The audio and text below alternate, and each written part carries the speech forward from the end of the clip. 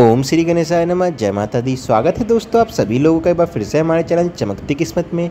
वेद पंडित आप सभी का स्वागत करता हूँ दोस्तों। हम हर रोज़ अपने चैनल पे आपको कुछ ऐसे उपाय बताते हैं, जिन्हें अपने जीवन में अपनाने से आपको आपके कार्यों में सफलता मिलती है। जी हाँ दोस्तों, हम हर रोज़ माँ गर्जिया देवी जी से आपके और आपके परिवार की कुशलता और सफलता के लिए प्रार्थना करते हैं और उम्मीद करते हैं आप लोग अपने परिवार के साथ एक अच्छा जीवन यापन कर पाएँगे। दोस्तों, आज हम आपको वास्तुशास्त्र से जुड़ी कुछ अहम बातें बताने जा रहे हैं जो आपके लिए बहुत लाभकारी साबित होंगी। क्योंकि वास्तुशास्त्र में हमारे जीवन से जुड़ी कई चीज़ों को बताया गया है। लेकिन दोस्तों, इससे पहले हम आगे बढ़ें।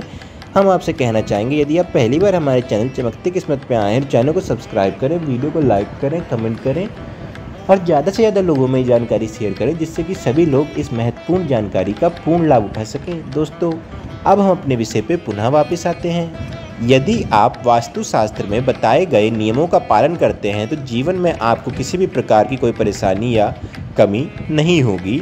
आज हम आपको इस वीडियो के द्वारा ऐसे चार फूलों के बारे में बताने जा रहे हैं, जिनसे घर में सुख समृद्धि रहती है। माँ लक्ष्मी घर में आके विराजमान होती हैं और घर में धन दौलत की कभी कोई कमी नहीं होती। जी हाँ दोस्त, सबसे पहले बात करते हैं परम पिता परमेश्वर भगवान विष्णु की। भगवान विष्णु को गेंदे का फूल बहुत प्रिय है।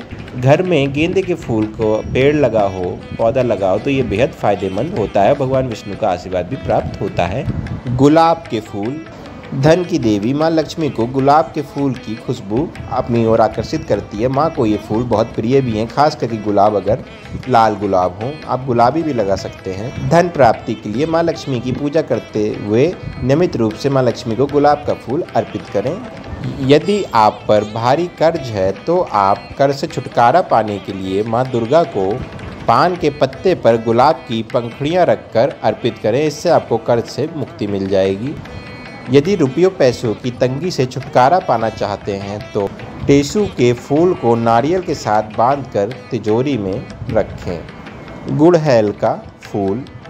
घर के मुख्य द्वार पे गुड़हैल के फूल का होना बेहद शुभ माना जाता है। सूर्य देव को जल अर्पित करते समय उसमें गुड़हैल का फूल ज़रूर डालें।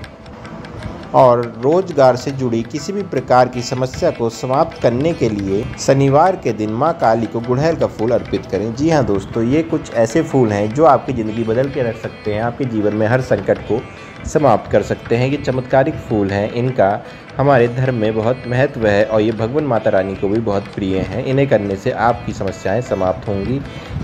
दोस्तों, अगर आपको वीडियोस में दी गई जानकारी अच्छी लगी हो तो हमारे चैनल को सब्सक्राइब करें, वीडियो को लाइक करें, कमेंट करें। दोस्तों, अब हम आपसे मिलते हैं अगली वीडियो में। जब तक के लिए जय माता दी, धन्यवाद।